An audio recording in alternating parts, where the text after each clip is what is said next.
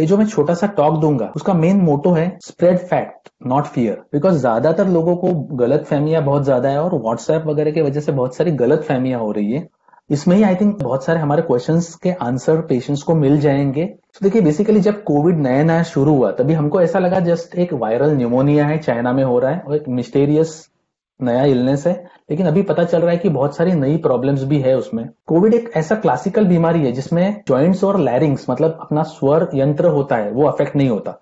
सो अगर आप कोई भी बुखार का पेशेंट देखो, जिसमें, जिसका गला बैठ गया है तो आप टेकन फॉर ग्रांटेड ले सकते हैं कि उसको कोविड तो डेफिनेटली नहीं है। सिमिलरली उसमें ज्वाइंट इन्वॉल्वमेंट भी नहीं होता। दूसरी बात मतलब कोविड में बहुत सारे पेशेंट्स का क्वेश्चन था कि मुझको हल्का हल्का बुखार आता रहता है। तो एक कोविड का क्लासिकल फीचर है, जिसमें हल्का हल्का बुखार आएगा। एकदम तेज सा बुखार नहीं आता, क्योंकि ये इन्फ्लेमेटरी फीवर होता है। तेज बुखार नहीं आता अनलेस पेशेंट को कोविड के साथ दूसरा कोई प्रॉब्लम हो जाए, जैसे निमोनिया या फिर दूसरा प्रॉब्लम सो क्लासिकली बहुत से कोविड के पेशेंट्स लो ग्रेड फीवर का कंप्लेंट करते रहेंगे। पहले हमको ऐसा लगता था कि कोविड के पेशेंट कोई भी दिन किसी भी तुरंत पूरे हॉस्पिटलाइजेशन के दरमियान कभी भी प्रॉब्लम में जा सकते। लेकिन अभी हमको पता चल रहा है जैसे जैसे दिन बीत रहे हैं जैसे जैसे ज़्यादा पेशेंट्स के एक्सपीरियंस आ रहे हैं तो पता चल रहा है कि यूजुअली तीन से छह दिन के वक्त ज़्यादा से ज़्यादा कॉम्प्लिकेशंस होते हैं। थर्ड टू सिक्स डे अगर उसके बाद में किसी को कोई कॉम्प्लिकेशंस हो रहे तो यूजुअली वो वायरस के वजह से नहीं हो रहे वो वायरस ने किए हुए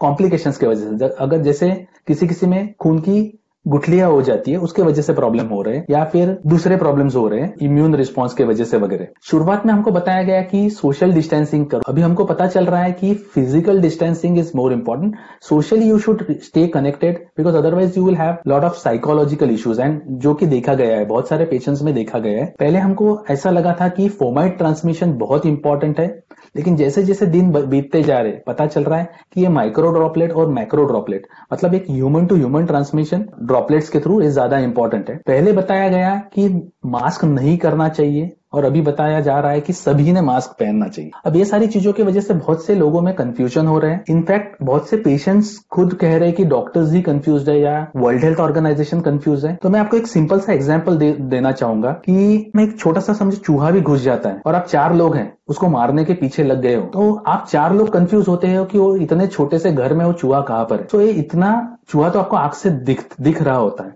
ये तो हम बात कर रहे हैं ऐसे एक वायरस की, जो एकदम मिस्टेरियस है, नया है। दुनिया में पहली बार उसका एक्सपोजर हुआ है और हमको ये इलनेस होना शुरू हुआ है। तो ऑब्वियसली शुरुआत में कुछ गलतियाँ होगी और धीरे धीरे जैसे साइंस इवॉल्व होगा, हमको ज़्यादा और ज़्यादा इंफॉर्मेशन मिलेगी और ऑब्वियसली ट्रीटमेंट भी बेहतर होती जाएगी, जो कि आपने लास्ट पिछले सात, साढ़े सात महीने में देखा है। पहले जो मोर्टेलिटी थी वो आज नहीं हो रही है। पहले हमको बताया गया कि सिंपल मास्क इंपॉर्टेंट है, वो सादे कपड़े के मास्क पहनो तो भी चलेगा। लेकिन आज बताया जाता है कि N95 मास्क या फिर मेडिकल मास्क N95, N96 या N99 ले लीजिए ये मास्क इंपॉर्टेंट है। ये पहनने चाहिए अगर आपको इन्फेक्शन से बचना है तो। शुरुआत में बताया गया कि तीन फीट की दूरी रखनी चाहिए बाद में बताया गया छह फीट और अभी बताया जा रहा है नौ फीट तो जैसे जैसे हमारा नॉलेज बढ़ता जा रहा है थिंग्स आर चेंजिंग सिमिलरली पहले बहुत ही हाई मोर्टेलिटी हो रही थी। अब देखिए इटली वगैरह में बहुत से मृत्यु हुई लेकिन अभी जैसे लोगों को पता चल रहा है क्या एग्जैक्टली exactly बीमारी है थिंग्स आर इम्प्रूव पहले सभी को हॉस्पिटल में एडमिट करो, ऐसे कहा जाता था। अभी काफ़ी पेशेंट्स घर पर मैनेज हो रहे हैं। पहले कोई खास ट्रीटमेंट पता ही नहीं थी क्या करना है, लेकिन अभी हमको पता चलने लग गया है। अभी एक कॉमन पेशेंट को भी पता है। इनफैक्ट मेरे बहुत से पेशेंट खुद आके मुझको कहते हैं कि मेरा सीआरपी लेवल करवा के देखिए। मतलब पेशेंट ये नहीं कहता कि मुझको बुखार आ रहा है। पेशेंट शुरुआत ही करता है कि मेरा सीआरपी लेवल करके देखिए। अभी हमको पता है कि कुछ विशिष्ट चीज़ें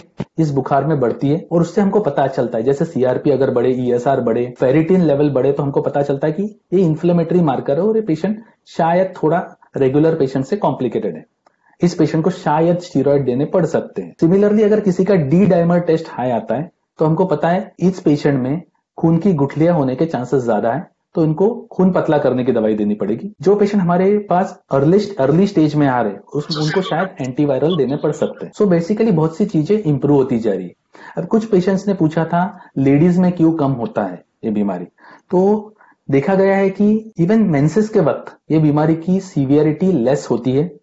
और बहुत से स्टडीज़ ने बताया कि इस्ट्रोजन के वजह से फीमेल्स में शायद ये डिज़ीज़ थोड़ी लेस सीवियर होती पहले हमको बताया गया कि स्टीरॉयड बिल्कुल नहीं देना चाहिए। स्टीरॉयड से डिज़ीज़ फ्लेयर अप हो सकती है, लेकिन अभी हमको पता है कि low dose steroid actually help करते हैं। पहले लेट डिस्चार्जेस होते थे। आपने देखा होगा, वो सिंगर के वक्त। ऑलमोस्ट उसको एक महीने तक हॉस्पिटल में रखा था। पेशेंट को जब तक रिपोर्ट निगेटिव नहीं आता, तब तक हॉस्पिटल में रखा जाता था। लेकिन अभी हमको पता चल रहा है कि पेशेंट्स को जल्दी डिस्चार्ज कर दो। इतने इतने लॉन्ग रख के कोई अलग अचीव करने वाले नहीं हो आप, क्योंकि इन्फेक्टिविटी तो पेशेंट की खत्म हो जाती है। और होम क्वारंटाइन करो। उससे दो फ़ायदे होंगे।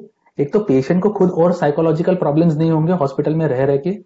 और दूसरा मतलब हॉस्पिटल में बेड्स अवेलेबल होंगे। ये बहुत इंपॉर्टेंट है। इनफैक्ट मैंने देखा मेरे बहुत से पेशेंट्स मई और जून में। The reason for their death was they did not get a bed in the hospital लेकिन थिंग्स अभी इंप्रूव होती जा रही है। पहले कोविड कहते ही लोगों को मौत दिखने लगती थी।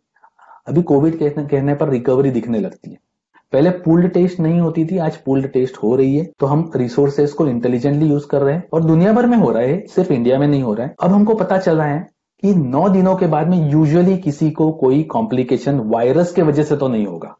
अगर कुछ होना है तो बाकी चीज़ों की वजह से होता है। जैसे मैंने आपको बताया, खून की गुठलियाँ होने की वजह से या साइटोकाइन स्ट्रॉम वगैरह वगैरह। बट यूजुअली नौ दिनों के बाद में कोई प्रॉब्लम नहीं होता। पहले सिर्फ़ हम आरटीपीसीआर करते थे।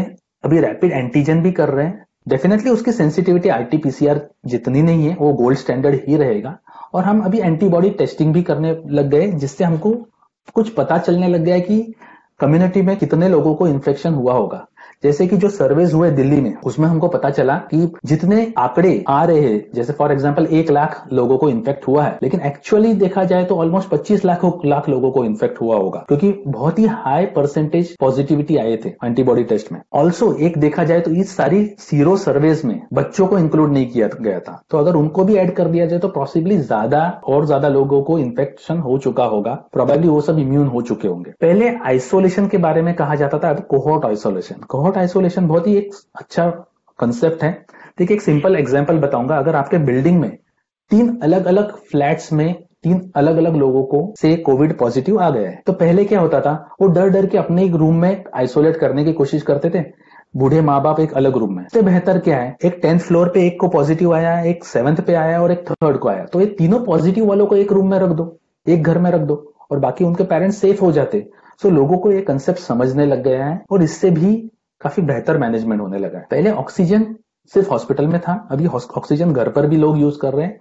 ऑब्वियसली जब कॉम्प्लिकेट हो जाता है तो डॉक्टर की सलाह के साथ यूज़ करना चाहिए। अभी लोगों को समझता जा रहा है कि ज़्यादा ओपन एरिया में ज़्यादा सेफ्टी है। पहले सिर्फ़ सिम्टम्स आने पर चेकिंग होती थी। अभी कोई भी जाकर खुद से चेकिंग करवा सकता है। शुरुआत में ऐसा लगा था कि कोविड एक लंग्स की बीमारी है, लेकिन अब पता चल रहा है कि दूसरे बहुत से ऑर्गन्स इन्वॉल्व होते हैं।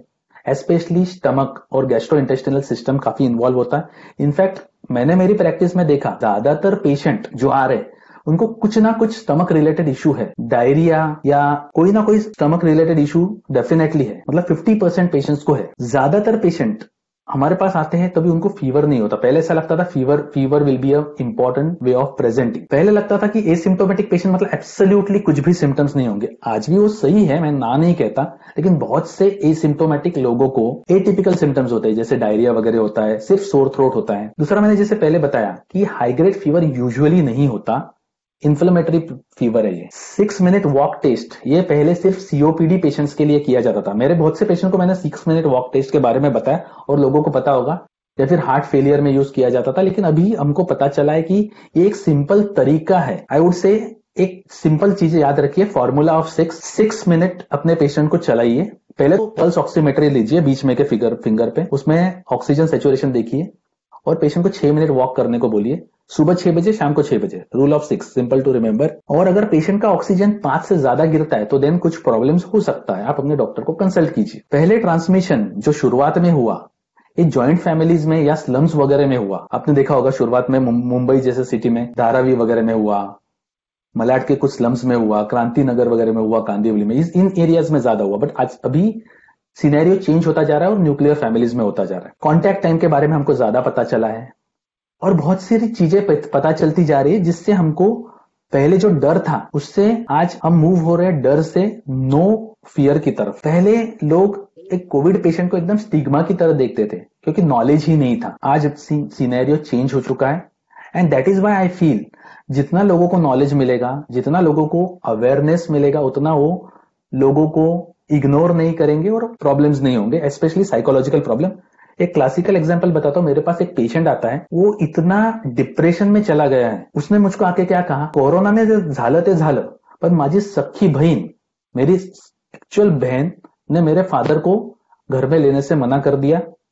मैं एक अलग हॉस्पिटल में मेरी बीवी अलग हॉस्पिटल में बच्चे घर पे पड़े हुए हैं पिताजी अलग जगह पर।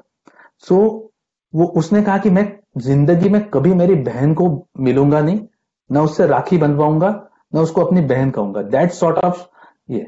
और उसके एरिया के लोगों ने मतलब वो इतना इतना फ्रस्ट्रेट हो चुका है कि वो उस, उस अपार्टमेंट को बिल्डिंग को भी छोड़ने वाला है और दूसरी जगह पर शिफ्ट होने वाला वो कहता है कि ऐसे लोग ही क्या काम के कि जिन्होंने फ़ोन कर कर बीएमसी को ज़बरदस्ती बुलाकर पेरेंट्स को लेके जाने को कहा। उनको घर में होम आइसोलेशन किया जा सकता था, वो सीरियस नहीं थे। मतलब these are the sort of problems which patients are facing सिर्फ़ एक ही बात है, इसमें लास्ट बताना चाहूँगा कि भले मॉर्टेलिटी जनरल पब्लिक में लो हो गई है, एक अनफॉर्चुनेट थिंग है कि आज भी डॉक्टर्स में मोर्टेलिटी ज़्यादा है सिग्निफिकेंट है मतलब as compare to general population और एक दुख की बात है। ये मेरा समअप था कोविड के बारे में।